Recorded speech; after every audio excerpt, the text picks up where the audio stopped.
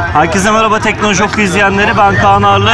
Evet bugün Sony yeni Xperia X ailesini tanıttı. Telefonla ilgili çok fazla detay yok. Öncelikle şunu söylemek istiyorum. Ee, telefona internete bağlayıp test programları kurmamızı istemiyorlar. Çünkü telefon Haziran ayında satışa çıkacak ve e, şu anda aslında prototip olarak da söyleyebiliriz bu cihazın ne olduğunu. Evet Xperia X ailesi yeni bir seri oldu arkadaşlar. Ama tasarım anlamında Xperia'nın e, Omni Balance tasarımını, çizgisini devam ettiren bir dizayna sahip. Oldukça şık ve güzel görünüyor. Bunu rahatlıkla söyleyebilirim. Güzel şık bir ekranı var ve e, tek elle birlikte kullanım tarafında da oldukça iyi görünüyor. Evet alıştığımız tuş dizaynı Xperia Z5 ile birlikte güç tuşu e, kamera denklanşör butonu ve ses kontrol butonlarını görüyoruz. Yan taraftaki slotta ise Burada hemen şöyle açarak göstereyim. Bu arada telefon restart atacak. Ee, sim kart ve microSD kart yuvalarını görmekteyiz. Telefon özellikle kamera özellikleri açısından farklılaştırılmış bazı özelliklere sahip. Ee, akıllı odak sistemiyle birlikte telefon aslında neye odaklanacağını takip edebilir bir e, teknolojiye büründürülmüş ve Android 6.01 işletim sistemiyle birlikte geliyor. Güzel bir dizayna sahip olduğunu söyleyebiliriz. Farklı renk çeşitlerimiz de mevcut. Ayrıca şöyle hemen bunu da göstermek istiyorum sizlere. Elimde şu anda beyaz ve aslında böyle altın rengi diyebileceğim başka bir renk seçeneği de mevcut. Oldukça güzel görünüyor. Şöyle bakıldığı zaman ön tarafta özellikle altın renginin e, renk anlamda biraz böyle simli bir yapıya sahip olup e, farklılık yarattığını da söyleyebilirim. Alüminyum kasa olduğunu söylediler arkadaşlar telefonun. Plastik gibi görünse de gerçekten çok hafif bir dizayna sahip. Bunu da söylemem gerekiyor. Evet şimdi telefonun teknik özelliklerinden de biraz bahsetmek istiyorum size kısaca. Burada bir teknik özellik ekranından e, açtılar. Diğer telefonlarda yok. Hemen kısaca bunlardan da bahsedeceğim.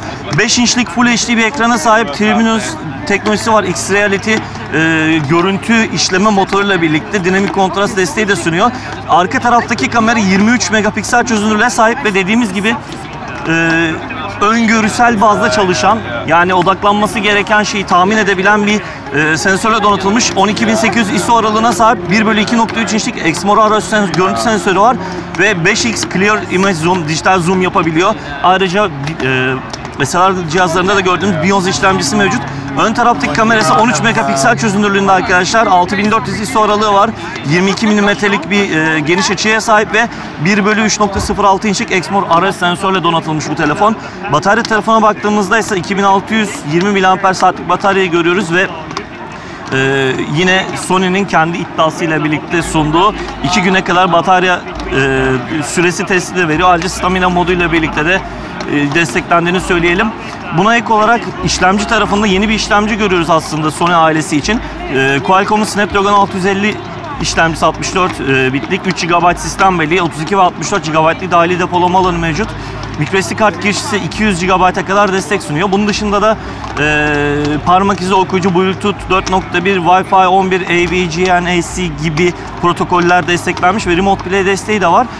Dediğimiz gibi telefon Android 6.0 6.01 işletim sistemiyle geliyor. Hemen onu da sizlere göstereceğim şurada. Evet 6.01 ile geliyor. Yenilenmiş bir e, Sony'nin kendi arayüzü ve bildirim ekran tarafında ise standart alışıla gelmiş bir bildirim seçen ekranımız mevcut. Ekranı gerçekten çok şık arkadaşlar. Arayüz tarafında ise yeni çok fazla bir yenilik olmasa da performans anlamında biraz iyileştirmeler yapıldığını söyleyebilirim. Dediğim gibi şu anda stand alanında telefonlar Wi-Fi'ye bağlı değil. Herhangi bir e, antutu performans ölçümü yapmamıza da izin vermiyorlar. Yanın başımda durdukları için şu anda. E, söyleyebileceğim çok fazla bir şey yok. Ben kamera arayüzüyle alakalı hemen sizlere bir şeyler göstermek istiyorum arkadaşlar. Çünkü arkada gördüğünüz alanda da aslında kamera arayüzünün nasıl çalışacağıyla e, alakalı bazı demolar yapılacak burada. Tabi ürün test ürünü olduğu için bir demo ürünü olduğu için bazen hatalar verebiliyor. Şu uygulamanın hepsini bir kapatalım. Belki bu şekilde rahatlıkla kullanabiliriz. Evet şöyle göstereceğim size. Şöyle birazcık kadrajımızı yukarıya alıp.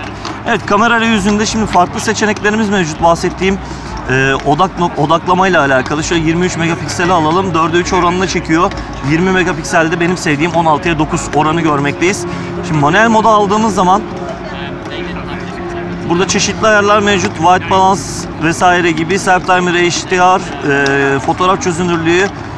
Evet, object tracking tarafında az önce bahsettiğim seçeneği yapıyor ve e, bu sayede odaklamak istediğiniz şeyi takip ediyor ve cihaz veya takip etmek istediğiniz şey nereye giderse onunla birlikte odağını sürdürebiliyor aslında. Evet şöyle gösterebilirim. Tabii kadrajdan çıkmaması gerekiyor bu arada. Şöyle göstereyim mesela. Evet bu, burada biraz da zorlanacağız. Evet şu anda işte gördüğünüz gibi takip edebiliyor. Bu da güzel detaylardan bir tanesi olmuş. Biraz daha kadrajı geriye alarak aslında bunu sizlere göstermeye çalışacağım. Evet şöyle odaklandığımız zaman görüyorsunuz onu takip etmeye çalışıyor.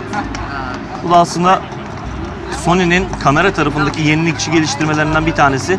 O telefonlardaki odaklama sıkıntısıyla alakalı problemlerinizi rahatlıkla çözebilecek. Aslında ilerideki bir yerden bir odak alarak bunu deneyebiliriz. Şimdi video kayıt tarafına da biraz değinmek istiyorum. Hemen orayla da alakalı bazı bilgiler vereceğim sizlere. Şöyle arayüzde biraz e, dediğimiz gibi sample ürün olduğu için bazı konularda sıkıntı yaşanabiliyor cihazla alakalı. Hemen şöyle tekrar odağımızı alalım.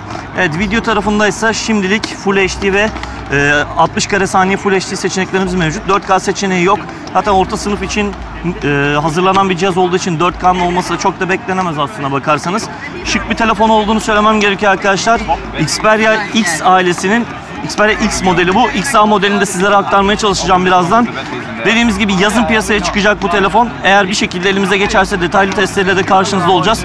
Benden şimdilik bu kadar arkadaşlar. Görüşmek üzere, hoşçakalın.